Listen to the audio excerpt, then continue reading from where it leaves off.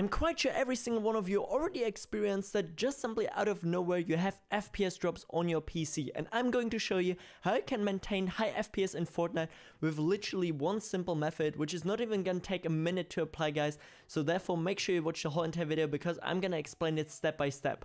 If you enjoy my work guys, please consider leaving a like and subscribing to the channel. And also don't forget to enter the GTX 1080 giveaway, which is gonna be a link to in the description guys. And now let's continue with the video.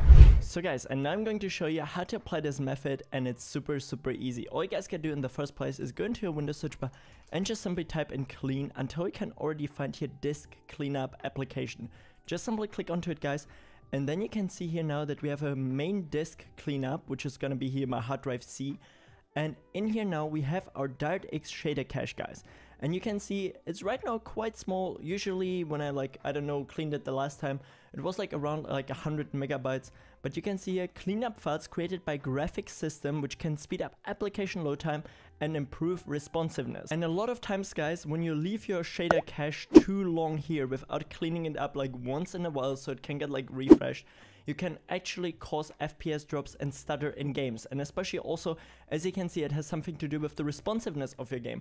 So you can also get like additional input delay. So therefore, what I would recommend you is like every few weeks, I don't know, like every three to four weeks, you should actually clean up your DirectX shader cache, guys. It's super easy. You can see now in the cleanup, we have it selected and we're gonna click now onto OK and then it's going to ask you, are you sure you want to permanently delete these files? We're going to click on to delete them and you can already see your Windows is now deleting it. Yeah, everything is going to get deleted, which is selected there and then it's only gonna take like a few seconds and now we're already done and now once we hop into Fortnite we get new shader cache files which are being created in real time which is going to fix your FPS drops and give you more consistent FPS. And real quick guys I want to showcase you as well no ping which is the number one tool guys to improve your ping but also to improve your FPS and reduce your input delay all in one guys. This is like an all in one tool for any competitive game you guys want to play. It supports over a thousand games where you can actively improve your ping guys. Just somebody search here for Fortnite let's just say as an example and can help you to find the best server on each region in your near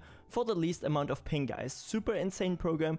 You can try it out for 7 days for free guys and other than that you can get 20% off with my code and my link in the description guys and you can pay via PayPal so therefore it's super easy and accessible and you can right now you see Netherlands 02 is so much more responsive than London 02. So therefore let's just say as an example that Fortnite would automatically connect me to any of these servers. I can personally select here Netherlands 02 for the least amount of delay, click on to optimize this game and now I'm already running the lowest amounts of latency. Amazing program guys, check it out, hashtag ad. And if you guys enjoyed this video, please don't forget to leave a like and subscribe to my channel, this would help out so so much. And if you still have any more questions, feel free to ask me them down in the comment section below. I try to answer as many as possible. And with that said, have a great day, have a great night whenever you're watching this. And until next time, stay awesome, I'm out, peace.